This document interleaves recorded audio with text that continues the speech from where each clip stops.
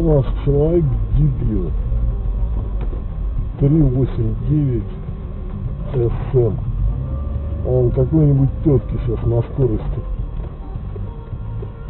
улетит этот снеговик и будет ДТП. Человек об этом не думает вообще. А зачем? Он решил снеговика светить на машине. Хорошо, если этого снеговика в лобовуху получится.